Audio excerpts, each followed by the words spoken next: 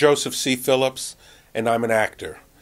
Uh, most people remember me as Martin Kendall on The Cosby Show or the original Justus Ward on General Hospital. My favorite misconception about acting is that it's hard work. Um, I would qualify that to be acting on television shows, in movies, even on stage to a certain extent. But I've always, it's always irritated me when I've watched television, uh, talk shows, and seen actors, big stars, come out and talk about how hard they work. No, digging ditches is hard. Being an actor, uh, in comparison, is not hard. Getting up, yes, sometimes very early in the morning, having a car come pick you up, take you to the set, have people come ask you what you'd like to eat and then go out and get it and bring it to you. People pamper you, put makeup on you, do your hair, put clothes on you. Uh, then when you go to the set, they have a chair for you to sit in. It's, it's not hard work. You might work long hours, but there's a difference. Digging ditches is hard work. Acting on television is not hard work. I love being on the stage. When I was uh, actually before I was in high school, junior high, performing in front of people, that the sound of that applause, even to a certain extent the butterflies, but the bright lights, there's something for me that nothing else could compare to that. All through high school, I never did drugs drank alcohol or anything. And of course, when you're that age and people are experimenting with all sorts of things, they would say, "Hey, why Joseph, why don't you try this, try that?" I said, "No, I get high off of this," and it sounded kind of trite, but it really was true. The high I would get from performing, and still do to this day, was incredible. And there's nothing like being in front of a live audience, and you feel this energy coming back to you, and people laughing at things that you say, or you move them to uh, silence or tears, and it's it's incredible. It's it's an incredible feeling, and uh, it really is. People say you get bit by the bug. It is like a bug. You get that in your skin, in your system, and it's hard to uh, it's hard to get that out once it's there stage, actually. But I think television, I've done a lot more television than film. Made more money on film, but uh, I enjoy being on a set. I enjoy being on the boards, as they say, uh, you know, in the live audience of stage. The rehearsal process of being on stage is exciting. Opening night, in the theater is incredible. But being on a television program is a lot of fun, actually, and I've enjoyed it. Um, I can't think of of one television program that I've done. Well, uh, that's not true. I can think of I can't think of one that was horrible. I, have been on sets that were not as enjoyable as other sets, but uh, being on a television program is, is a lot of fun. So I would say TV. And the other thing about television, interestingly enough, is that when you're in that little box, which actually now has gotten bigger because people are watching you on 60 inches now, and movie screens have gotten smaller, but uh, you go into people's homes and they have an intimacy with you that they don't have when you're blown up on the big screen. And sometimes that's very nice as well some people watching this might say, when if I say I don't know that I've ever done anything that funny on a set, they say yes, we know, but uh, I can't. I tend to be when I get on a set, I tend to be there to work. A lot of people come and they play. That irritates me because um, it adds hours to the day. There's not, you really don't have anything to do except memorize your lines, know where you're supposed to go, hit your mark, and, and do your work. So I come prepared to do that. And it's always irritated me when people come and they don't know their lines. What else do you have to do? Nothing. Learn your lines. You sit in your trailer, learn your lines. I can't think of anything. I've had fun on sets, but generally it's because other people have been having a lot of fun.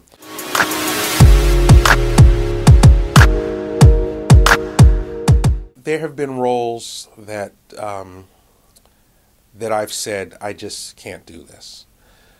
The first one that comes to mind, I don't know if I'm supposed to mention films, uh, but the script for How High came to me, and I hadn't worked in a while. I really needed this gig.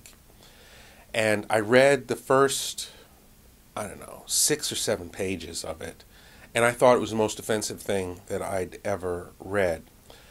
And I said to my wife, you know, I, I read this. I just want you to read it. And I didn't say anything else about it. I didn't want to color it in any way. I said, just read it and let me know what you think. She read for about five minutes or so, and then she looked to me and she said, Honey, you cannot do this. No one wants you to have a job more than I do, but you cannot do this. And I called my agent and I said, I can't. There's no need for me to even go in on this. I can't do this. I would never be able to look my children in the eye if I did this. And the one thing it taught me, though, because there were people who ended up doing the film, people who are terrific actors, people who I know, respect as artists. But everybody has a different, you know, a, a different level, which is why when we get in these conversations about what people should and shouldn't do and what is offensive, it, it, it's a matter of taste. What was very offensive to me was eh, just kind of maybe tasteless to someone else, but they were able to do it, dive into it, I assume have have fun with it, but that was something I couldn't do, and occasionally, and I'll say in Hollywood, there's a lot of stupid stuff in Hollywood. Stupid is different from offensive. Um, I'll do stupid stuff because you have to eat, and Hollywood is, I think, the capital of stupid stuff. You have to eat. I'll never forget, though, uh, the conversation I had with uh, the great late Rosalind Cash. And it was around this very topic. And I'll never forget uh, the series Martin was on, and and people will go back and probably there are a lot of people who loved that that show. Uh, Martin did a lot of Martin Lawrence that is did a lot of stuff that's over the top and and just very wild and for some black people, they felt that this was offensive for them. And it wasn't funny. It was bug eyed. It was, it was all this stuff that we were trying to get away from. And I said in this, this was a, a, discussion, a panel discussion, I said, you know what? I don't think it's fair for us to come down hard on actors that take roles on these shows because people have got to eat. It's hard out here, and people go long months between gigs. People have got to eat. And Rosalind Cash looked at me and she said, I have never been that hungry. And if you are ever that hungry, you come to my house and I will feed you. And ironically enough, a few months later, I was cast as Rosalind's grandson on General Hospital. And Rosalind and I worked together very closely, and I grew to love her and respect her I had grown up watching her, of course, and loved her, just knew the, her legacy. Negro Ensemble Company, just knocking down doors here. I'm wearing locks right now. Rosalind Cash was the first black woman in Hollywood to lock her hair, and she didn't work for a long time because of it. So I have a lot of respect for Rosalind. I don't know if I completely agree with what she said, but that has always stuck in my head if you are ever that hungry, then you come to my house and I will feed you. And so there are things that I absolutely would not do. I'd rather go to you know to someone's house and be fed than than lower myself to that. I grew up um, in the TV culture. So when I became an actor, one of the things that I wanted to do more than anything was uh, be a detective on TV. I grew up watching Mannix and Hawaii Five O, Cannon, Barnaby Jones, all those Quinn Martin shows. That's what I wanted to do.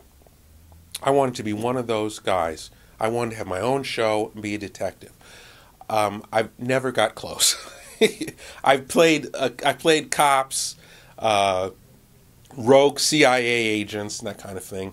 But I've I've never been, uh, you know, that private detective guy. And I don't think there has been a black private detective on on television that's in a series that's lasted. There have been a few attempts. Louis Gossett had uh, one um, years ago that lasted a hot second. Um, James Earl Jones, Bill Cosby, of course, had the Cosby Mysteries, uh, but I don't think anyone's had that type of, of of show. So that's the one thing that I've always wanted to do. The other thing is I love westerns. I'm a huge westerns fan. Huge. I you we I can talk westerns with people all day. That's how I think I've seen just about everything. And in a lot of ways it breaks my heart to know well, two things. First thing is that I'm I'm envious when I see black actors who have been able to to do westerns because I, I want to do a Western so badly. I would love to. But I also know that, it, and probably now uh, is, is more possible, certainly, than, you know, when I came out of acting school, no one was doing, you know, black people in westerns. Every once in a while, there would be some opportunity for, for a black actor to put on a cowboy hat and get on a horse. So that's a, that's a role that I would I would love to have a six gun on my hip and a cowboy hat and ride a horse.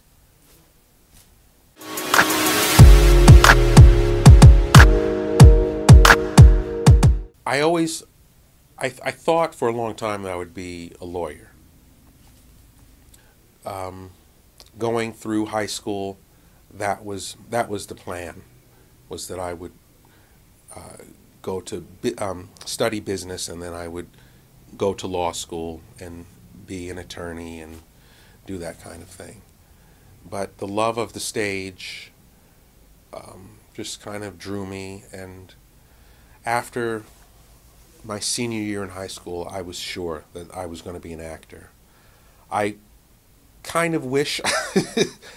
there certainly have been through my career a lot of times when I wish I had gone to law school instead. In fact, just last night, I commented to my wife because when we got engaged, uh, this was before I started General Hospital. Coming off the Cosby Show and Strictly Business, I didn't work for a, a year.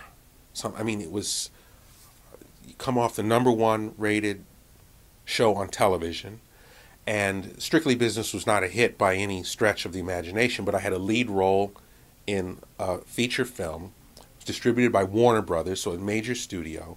Certainly, I had every reason to believe that I would work, and uh, I didn't. And I got engaged to my wife, and I said, you know, I can't really do this anymore. This up and down is killing me. Now, this was 20 years ago. And I said, uh, I'm going to go to law school. So I studied for the LSATs over that summer. I took the law school uh, aptitude test and was accepted to Rutgers Law School. And then I got General Hospital. My wife and I were married. We moved out here. And I commented to her last night. I said, You know, if I had gone to law school instead of done General Hospital, I would be an attorney now with 15 years of experience. She said, Yeah, but you probably would be unhappy and blah, blah, blah, blah, blah. I don't know, but uh, it's interesting to think about that sometimes. I was very fortunate because I got an agent almost right away, um, coming out of uh, coming out of acting school. Coming when I graduated from college. In New York, you were able to freelance with a lot of different agents. I don't know if that's the same. If it's been a very long time since I, I graduated from college, but you could freelance with with several different agents, and they would call you to see who got to you first before submitting you for a job. In Los Angeles, my understanding was that you could not do that. You had to be signed with someone. I was very fortunate that uh, the summer I graduated from college, I literally wore out, and I say literally, I, I'm not I'm not exaggerating one bit. I wore out a pair of shoes walking the streets of New York, passing out my picture and resume. And um, I had a look, a very commercial look back then. I was what, uh, 20 years old or something, and I had pretty good photographs, and I was coming out of a good program at NYU. And so I had a lot of people who began to submit me, and I was freelancing with several agents. It took, it was probably, I don't know, it might have been five months or so when I was up for a role on a Broadway play, which I, I didn't get. But the idea that I was this close to getting the role prompted one of those agents to say, Well, we want you exclusively with us. And so, I mean, it was, I was very fortunate, I have to admit.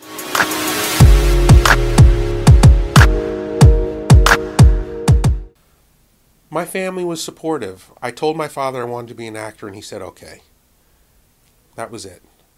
Now, after I got out of acting school, uh, it was about a year, and I hadn't made a lot of money. I'd done extra work and stuff like that. I'd got my SAG cards. I'd had some success. Uh, I mean, I mean that by that I'd, I'd got some work, but I didn't have any money in the bank. And my father said to me something along the lines of, "Well, I hope you don't stick with this too long." So, you know, maybe you can uh, get a job with the city or something. And that was frightening to me. I mean, and don't anybody take this the wrong way. There's people who are happy working for the city. That was not my thing, and it had, that had never been on my on my list, on my radar. Was working a job working for the city, you know, in the city bureaucracy. That that had never been. I mean, I was too sexy for that as far as I was concerned. Um, so I stayed with it a little bit longer, managed to have just enough successes to keep me going. Started making money, was fortunate enough that I didn't have to wait tables anymore. And between the gigs I had and unemployment, I was paying the bills and, and even putting money aside and doing things. So I've had a very fortunate career in, in that sense. Hell no. No, no, no. I don't encourage anyone to do this. And I'll be honest with you. This is a terrible, terrible career choice. It's it's just you can't make a worse choice than to get in this business. You just can't. And when people talk to me about it, I tell them, I say, you have to you have to come into this without the rose colored glasses. You have to, it has to be so real to you. So when you make that decision, you know exactly what you're getting into. The fact is that this industry doesn't want you, doesn't need you, doesn't like you, will not miss you when you're gone. It's ruthless. Uh, you will spend the majority of your time not doing what it is that you love to do. Even if you, people will look at me and say, Joseph C. Phillips had a successful career as an actor. I was never a star. I didn't get to be, you know, there are gradations of success, let's say that. But I know there are people who would give their right arm to have the career that I had. I I went through my entire career one day just to see and worked out that 45% of my career I was unemployed. and that's somebody who was on several TV series, did a couple films, did stage, commercials, industrials, uh, industrial films, etc. There are people who work a lot more than, than I did or have in, in my career, but most people work a lot less. This is a this is a terrible career decision. Most most members of SAG on any given day, 97% or something, are unemployed. Um, I think it was Howie Mandel who said uh, that in this in- industry, you can. It's easy to make a fortune. It's hard to make a living. And uh, so, no, I don't want my kids anywhere near this business. Sure, why not? I'm an actor. Why wouldn't I? This this is this is an incredible question to me. And I've heard this put out there, and I've heard the same question about whether you play a homosexual, would you kiss a man? Well, I I played Paul in Six Degrees of Separation. Um, actually stood by, um, understudied the role, and you have to kiss a guy. Yes, I'm an actor. Why would would you cry? Yes, I would cry. I cry on stage. I'm an actor. I'm playing a role. Um, I've had people ask me, well, you know, you're a conservative and you have, you know, you're a Christian and you have these views about uh, certain things, but you've played homosexuals. Yes, yes, I've played several homosexual men. What? But I'm. That doesn't mean that means I acted the role, and for my money, did a hell of a job. I was very good because I'm an actor. Yes, I would put on a dress in a heartbeat. I, I wouldn't have any. The only question I would have about putting on a dress would be the same question you asked me earlier, which is is this silly and stupid or is it in poor taste and I couldn't show my face in public? Uh, not in public, that I couldn't look my children in the eye. That's really the marker for me. What will my children say? Well, they see daddy acted and, and he was in a dress, but it was a role that I played. Sure, I mean, would I, would, this is, this, here, here, this is how silly the question is. Would you have done, if, if, if the role of Tootsie had been offered to you, would you take it? Ask any actor that. Would you have, and you say, well, look, an actor of the caliber of Dustin Hoffman played the hell out of that. Would I have, have attempted to do that? Got a role like that where you could sink your teeth into it that would get you nominated for an Academy Award? Yes! Of course I would. It's a crazy question. Would I spend my entire career in a dress? Well, Jamie Farr, who had a career before MASH, but spent what 12 10 seasons 11 seasons wearing dress and bras and all those kinds of things? I think if you ask jamie farr was i mean he would say i had a great time. It was a great character. I made a boatload of money sent my kids to college bought a huge home set my retirement. I'm set for life. Would you would, would, would you play klinger in mash Yes. Without question, I grew up. Um, it's got to be Sidney Poitier, um, who is someone who I I've not met. I've had a couple of opportunities, and but in part because uh, as a black actor, as an actor who is black, is what I prefer. Of course, growing up, I mean, Sidney was the man. And then coming into the business when I did, and I have a feeling every black actor my age was compared to Sidney Poitier, was said, Oh, you remind me of Sidney Poitier. But I used to get that quite a bit. And I always felt that it was an honor. And of course, I would say Angela Bassett, who I absolutely love, just imper- is, is, as a person. But, um, and I think that there's something that about her genuineness that also comes across on screen. I mean, there's just, listen, you talk about moments in Waiting to Exhale. where she burns that car and walks away and does. There are a lot of people who could have done that scene who would it would have been good, but nobody can touch how Angela played that. That's how she has this thing about her.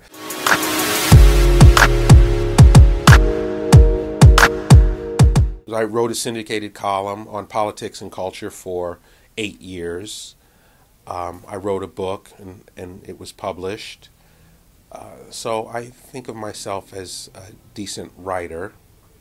Um, I wrote a one man show. I'm a very good cook.